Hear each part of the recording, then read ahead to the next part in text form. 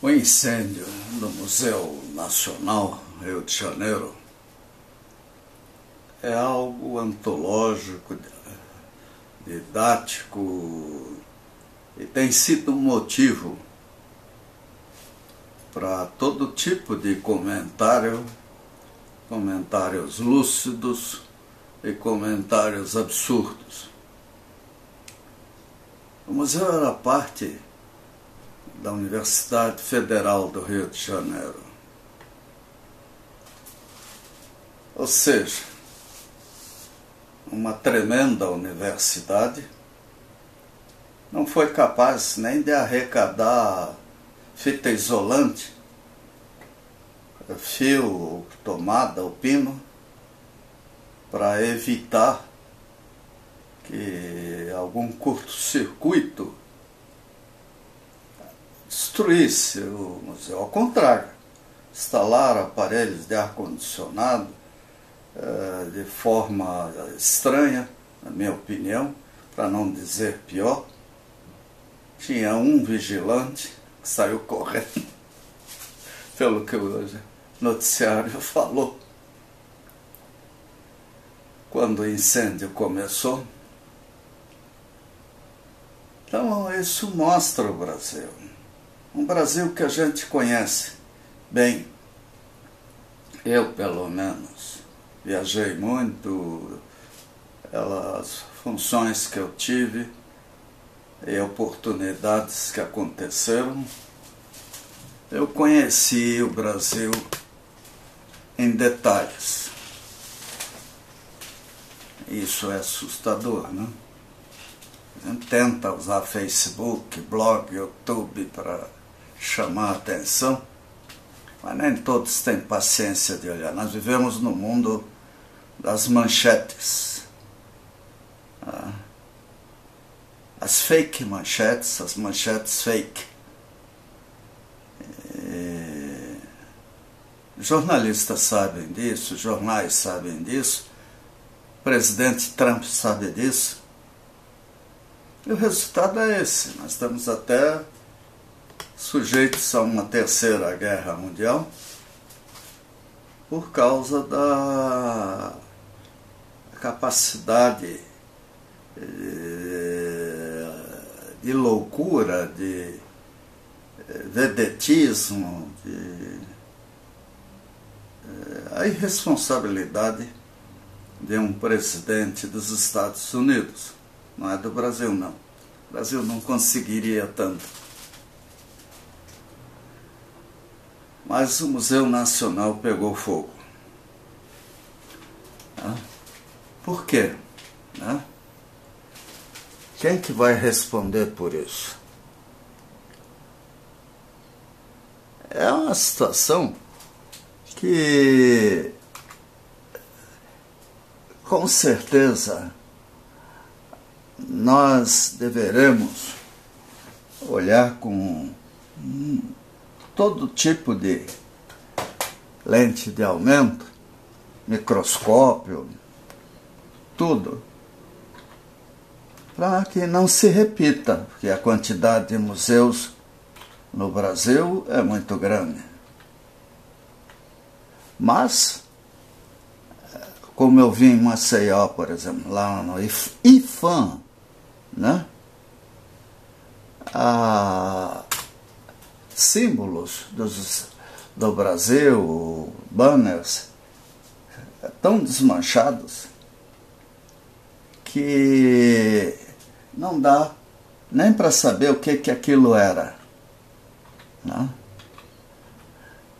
Então, o problema da. Uh, não é só incêndio. Nós temos que ver tudo. Agora, é falta de dinheiro, de gente. Não, porque daria para fazer muito mais coisa. Por que, que não fazem? Né? Não fazem porque não querem. E assim nós vamos vendo uh, coisas absurdas acontecendo e o máximo que a gente consegue, talvez, é alguma mudança de comportamento daqueles que nos respeitam. Afinal, o problema da educação, da, do comportamento não se, não se altera por decreto. Né? Tem um blog aí até que eu construí para fazer perguntas, né? Porque é o que eu posso fazer, né? É o caso das federações e corporações poderosas. Quietinhas, né? Por que, que elas não, não agiram em tempo? Né? Corpo de Bombeiros, né? Lá no Rio, até que o Corpo Bombeiros tinha plataformas. O que não fez foi exigir alvará e coisas. Aliás, esse problema fiscalização é tanta, tanto órgão que um empurra para o outro. Nós temos que prestar atenção nessas coisas. Então, nós dependemos muito da fiscalização espontânea. Quer dizer, quem tem que, de fato, fazer o papel de fiscal é o povo. Se isso tivesse acontecido, o problema da boate lá de Santa Maria, não teria matado duzentas e tantas pessoas. Afinal, se não me engano, em Santa Maria, existem sete universidades. Mas um deixa para o outro, esquece. Parece que as pessoas não têm consciência de que todos são responsáveis. Se isso acontecesse, nós não precisaríamos gastar essa fábula de, de dinheiro com agências, uh, segurança e tudo. Aliás, essa política de não reagir, que a gente vê a mídia eh, falar, repetir, insistir, ela é muito perigosa. Essa frase simplificada é negativa. É como se dissesse: não, não faça nada, fique quieto. Né? Deixa que alguém vai cuidar disso. Né? Então, a, Nós temos que mudar. Nós temos que agir de outra forma. É que nem um bom exemplo esse negócio está filmando, não poder mostrar a placa dos automóveis. Isso é até uma piada, né? Porque hoje em dia, ah, pela cidade, centenas de pessoas se deslocam com celulares de alta resolução, máquinas fotográficas. Quer dizer, na realidade, isso aí já não é mais problema. Ao contrário, seria importantíssimo eh, mostrar, sem acusar, simplesmente mostrar, placas de trânsito assim, de automóveis assim, quem sabe o governo não precisasse usar, gastar tanto com sistemas de é, supervisão à distância, né? porque falta dinheiro. Né?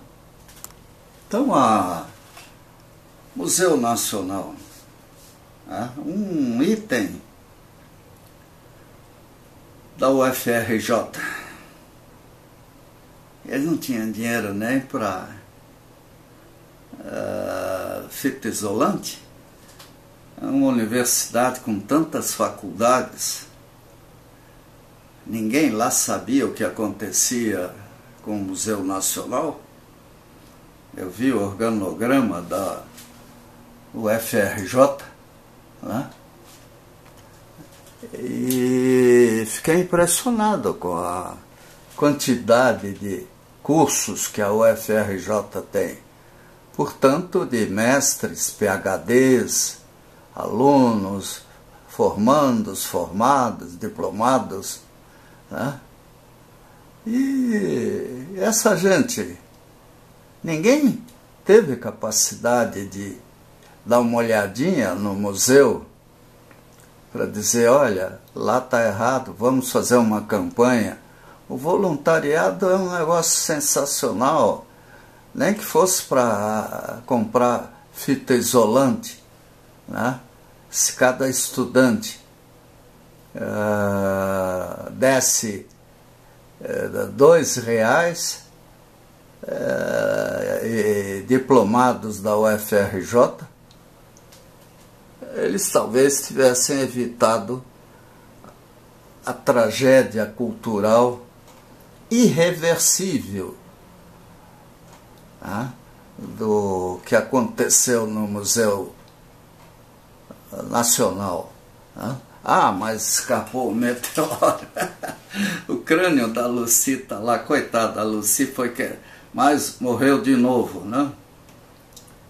E talvez ache algum osso de dinossauro é, em algum lugar lá, lá, até como souvenir é, em favela ou num apartamento de luxo no Rio de Janeiro. É ridículo, gente. E a cidade maravilhosa vai desaparecendo, deixando de ser talvez volte a ser igual ao tempo dos tupinambás lá, né?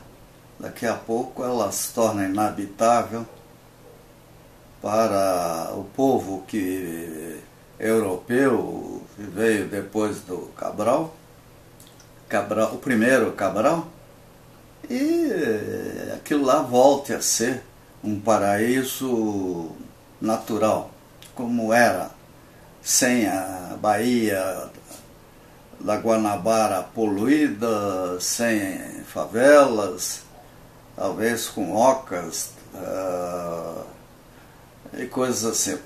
É uma pena que a turma gosta às vezes de matar tucano e outras coisas para fazer cocar, né? Mas o Rio de Janeiro talvez acorde da letargia.